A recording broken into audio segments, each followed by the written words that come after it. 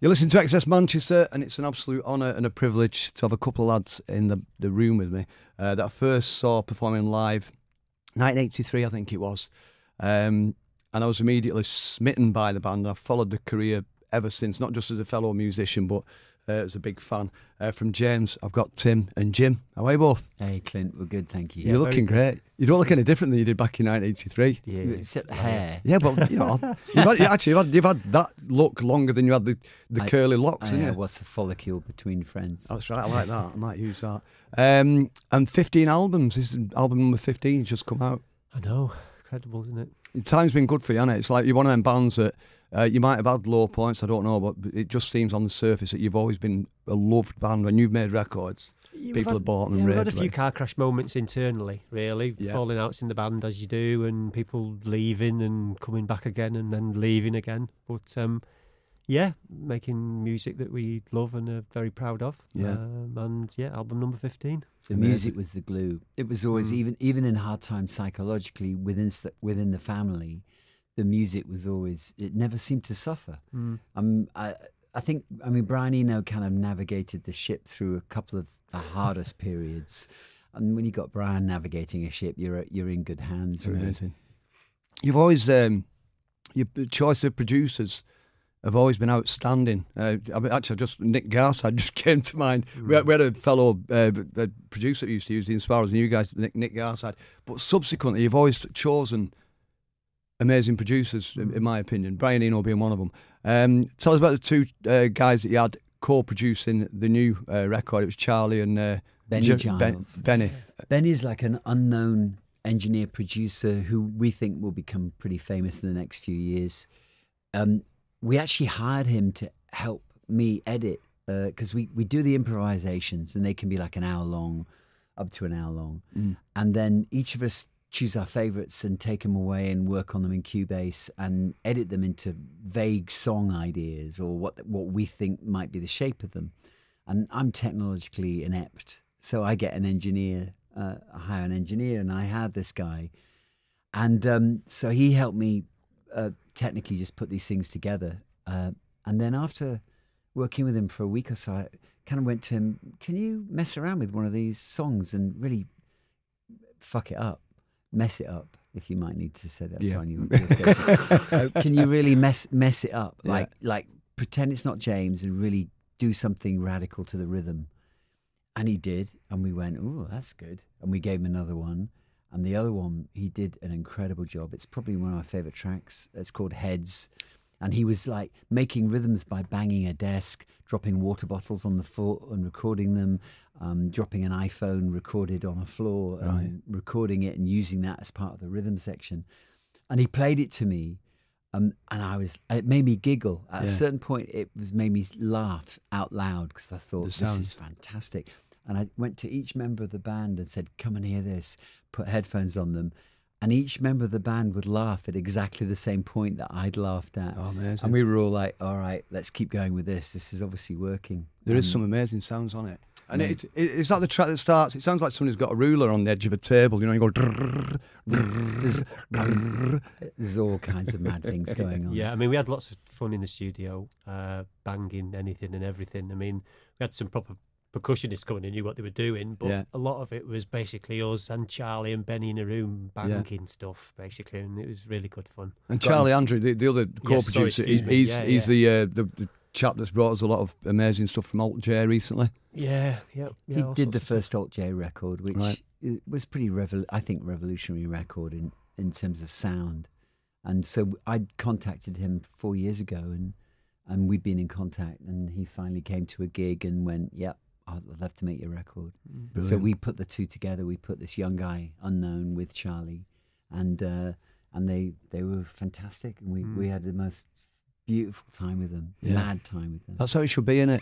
yeah, Because that's how it was at the beginning. Absolutely. And then you, get, you do get albums, you know, certain. I remember how, how exciting it was making the first couple of albums for the Inspirals, and you get to a point where you're thinking, well, my memories of certain recording sessions weren't as much enjoyable, or not as much fun. We, we've had a few difficult ones. I mean, the last couple of ones, there was quite a lot of tension and friction within the band uh, over Le Petite Mort and Girl at the End of the World. Um, obviously, ended up with Larry leaving.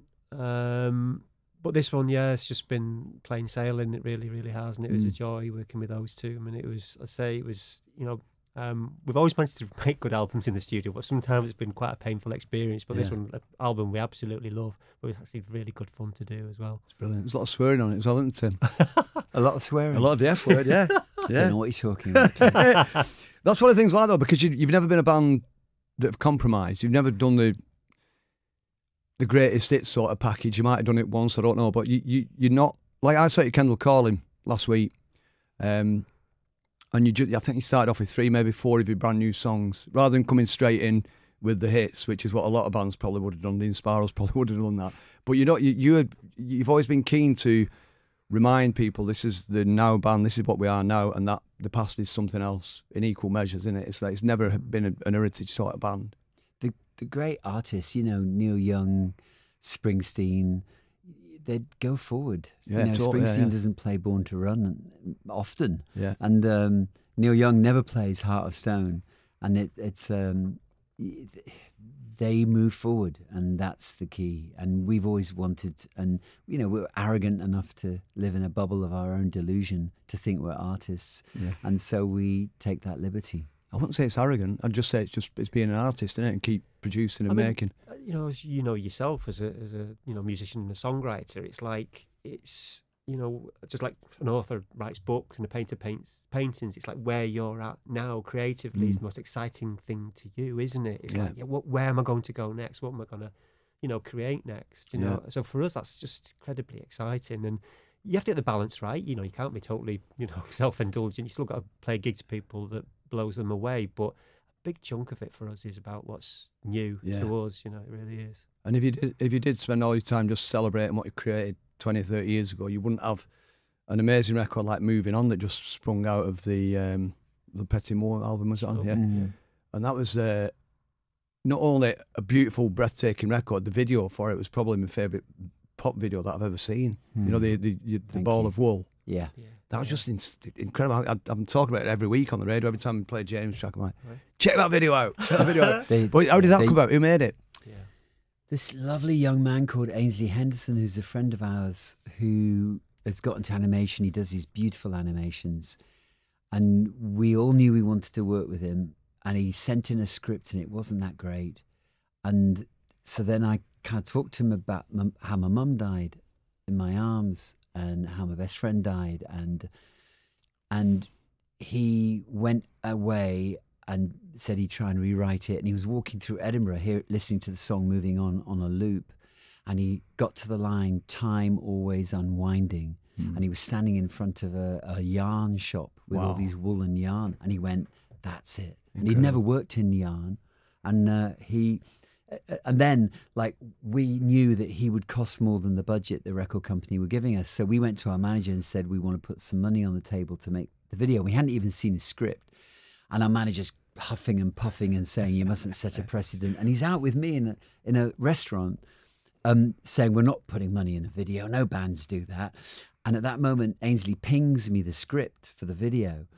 And, and he goes, read, read out the video script. And I start to read out the video script to our manager. And I start to cry, and I can't continue reading it. He huffs and puffs and takes it from me and tries to read it. And he starts to cry, and uh, and he goes, "How much do you need?"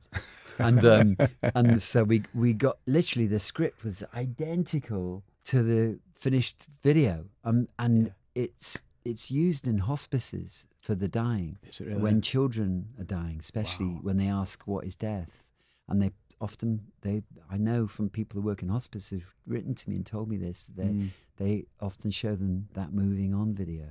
And uh, and we knew it's the best video we've ever It's made. amazing, I mean, it? it's just it just is so perfect. It's beautiful. It's because uh, part of Hmm. me thought maybe you were going to say somebody had already created the film and you just took it on as, no, but it's it- it- created it was specifically by you guys. Yeah. And I had this amazing experience of my mum dying, where it was so obviously a birth, mm, and uh, I was really lucky to experience that. Me and my sister were there, and my uh, my nephew, and we walked away going, "Oh my God, that was a birth!" yeah, And when you're lucky enough to experience that, it changes the nature of how you approach death.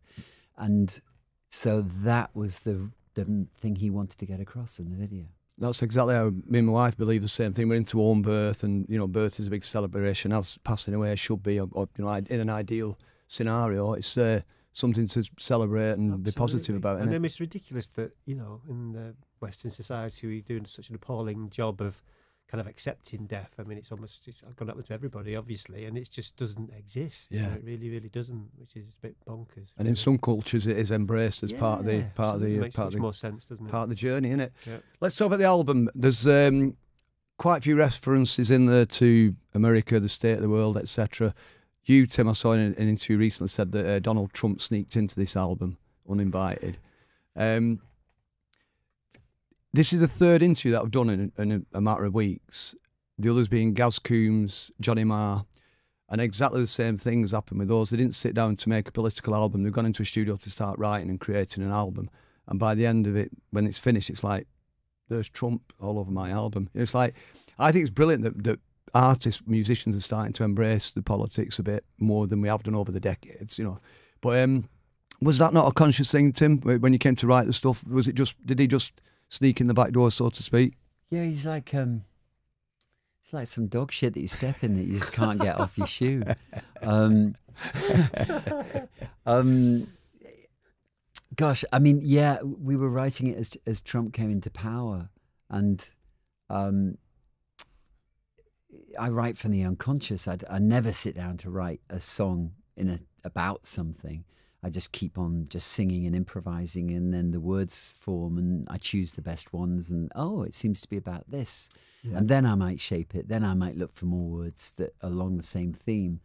Um, and yeah, he was at first he was all over the album like a bad smell, but and, and then I was like, he's not having the album. I'll focus it on two songs, and it ended up being lyrically he's probably in two songs. So you know, in my life I've written eight political songs. I think uh, reluctantly because I don't really like that genre at all. Yeah. Um, music is very much about unifying people, and political songs will div- always divide people to some degree. Yeah. Um, so there's two out of 12 on this record. But it, and I'd say actually two out of 20 because the deluxe edition has 20 songs and luckily they're getting quite a lot of uh, reviews because we wanted I wanted to make a double album and we had 30 songs we worked on and I'd say 20 that could have been on this record. Um, so it's two out of 20 are Donald Trump songs because I didn't want him to like suck the life out of the record. Dominate the album. And also because it's an uplifting record. You know, living in extraordinary times, not living in appalling times. yeah. Um, you know, I see a lot of amazing things going on. Trump brings to the surface what was already there. Yeah. He's a catalyst. He is waking people up um, to to what is really going on to, in many ways, and hopefully that will have a beneficial effect on the culture. And there are many other people. I think there's many medicines coming into the culture that are as strong as the poison.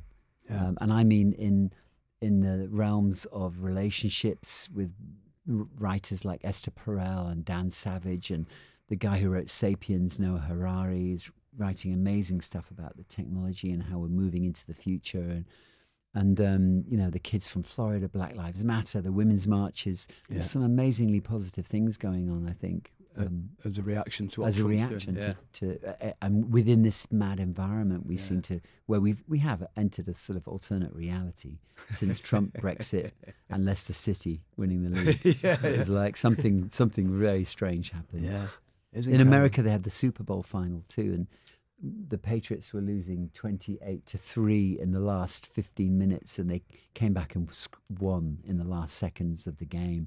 And it was another kind of Leicester City thing. It had never happened in the history of the Super Bowl, and another thing that makes you go, something. We're still in this alternate reality yeah, here, you know. Yeah. It's still uh, still a lot of positive stuff happening in. So it's uh, too early to start worrying about the uh, the apocalypse just yet. And I think the uh, the good will come out, won't it? In the end, the good will out, should I say? Let's talk about the live stuff. I saw you at Kendal Calling a couple of weeks ago. It looks to be like you're still loving it as much as you did back in the day. And Tim, particularly, you such a great front man. You're just um, you, you're unique in, in what you do on stage. I've got to ask you something. So when you do that that dance, I know you're a big fan of um, or an advocate of the. Is it called Five Rhythms dance that you do? Is that something you've studied? Uh, it was. We're moving forward into. Uh, we- we've moved into. There's many different dance systems that take people into trance states. Is the intention, Yeah. and um, you know, Gabrielle, who created that work, I was when she was around. She was. She taught me a system. I was dance crazy beforehand, as Yeah, you know, because yeah. when you knew me, I, I danced like that anyway. Um, Even when there was no music. even when there's no music. Um, but that was a great system. Since then, there's a lot. There's m- movement medicine. There's uh, open floor. There's all these different systems where people are realizing you can go into almost meditative trance states through dancing. Yeah. And uh, I'm up for any of them really. And we, I teach it uh, in Los Angeles with my wife, who's a shaman, and Yeah. she's an amazing healer, um, and teaches it. Uh, she's she's way better than me, um, and uh, so yeah, I've always been interested in that. It's same as with music. When we create music, we kind of go into an altered state when we create music. That's the idea. The best music we create is when we go into that, like where you go, whoa, what was that? Where did that come from?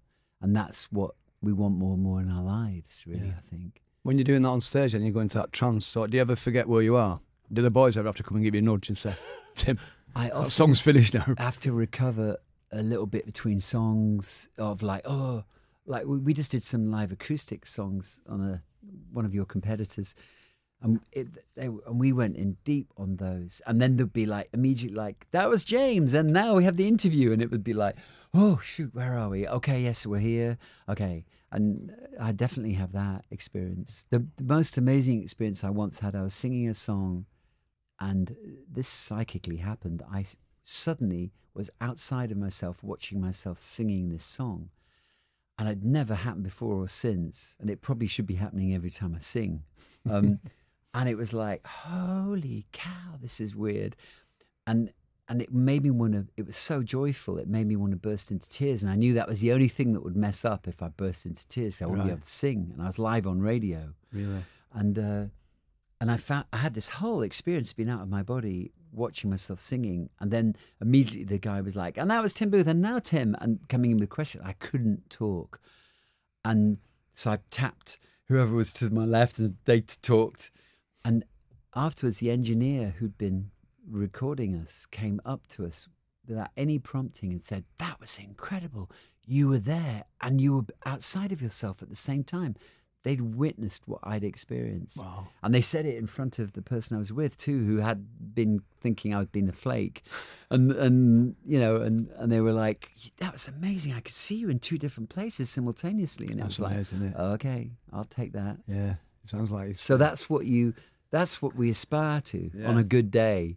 You know, on a bad day, it doesn't happen. On a bad day, your critic gets you on stage. You know that one. Oh, yeah. And, and it's like, but but now we have less and less bad days. It's like one in twenty. We might have a gig where we where we go, uh, uh, but most of them are pretty damn exca- ecstatic nowadays for Amazing. After after 30 odd years, 1980, 82, 81, did you start the band? yeah, Uh, yeah, first single out in '83, so yeah, Yeah. a couple of years before that. I So it's pretty yeah. good to still have that level of excitement. Going back to them days, that you were around a long time before Manchester happened, and then you got scooped up in it. The circus came to town. Let's put it that way. And it sped everything up, didn't it? I think f- for same with the Inspirals, it just sped up the process of getting where we wanted to be. Do you have nice memories of that era, Manchester? Yeah, I mean, we had great fun. I mean, obviously sharing a rehearsal room with you guys and taking the Mondays on tour and just, I mean, I was just I asked this the other day actually about the Happy Mondays. That Mondays tour where they came around with us was bonkers. It really, really was. I mean, obviously we were kind of going before the Manchester thing kicked off, so Yeah. we kind of, you know, we to some degree we kind of didn't want to get, um, we didn't want to disappear when the scene disappeared. I mean, I think that happened in the early days when we played with the Smiths. We kind of got kind of pulled in there as well a little bit, and later on with Britpop. And I think you just got to be careful not to be too, you know, kind of recognised with that. I think because obviously Yeah. when it goes out, you go out too. and we um, had ambitions of longevity. We did even then. Even then, yeah. It's great. I've got again good Sorry. memories, but Sorry. I, I know what you're saying. If you um, if you let that scene define you too much in the moment, then that's you're going to have well, trouble every shaking it. scene that comes up, you know it's got a temporary mm. lifespan. Yeah. You know it will be a wave, and then no one will want anything to do with it in about four years' time. Yeah. And so, and we knew that. We'd seen it with the Smiths, and we'd been taken with New Order, took us on tour, and we're Yeah. really generous. And the Smiths took us on tour, and we're really generous. So we had memories of that. So when the Manchester scene happened, we felt, oh, we'll continue that tradition. Yeah. Uh, it, it was so lovely what we'd experienced, Yeah. and we loved traveling with you guys. It was fun. Well, you, you took us on the, the first proper uh, UK tour that the Inspirals did was supporting you guys in March 1989, and it was during that tour that you shaved your head for the first time, Tim, Wow. Ah, in Sheffield, I think. right? I remember you turned up for sound check. I'm like, what's he done? Quite shaved the lot off. Did, am I right? I think that's Yeah. how you did it. I Yeah. think so. Yeah. Yeah. That's a good Happy memory. days. So anyway, thanks for the tour. And um, and do you remember that time I came jamming with you guys in uh, the Yeah, little rehearsal room in totally. Sankey's? Dude. Yeah. I came. I got a call from Tim, and this is the point where I was looking up to your band as as New Order and the Smiths and the Four. This was a big Manchester band, and one night Tim Booth phones me up, saying, "I like your keyboards. Do you fancy coming jamming with James? Because we're thinking about expanding our lineup and all that." Magical moment for And me. you were great too. Oh, we thank loved you, it. Thank you. Thank you. You weren't bad We, we didn't quite know how to incorporate the organ sound. Like we knew we couldn't incorporate it on every song, Yeah. and uh, so that was that just so just so just in case Oh yeah, you yeah. ever yeah. left. I'm not, in I wasn't doubt. waiting for the call.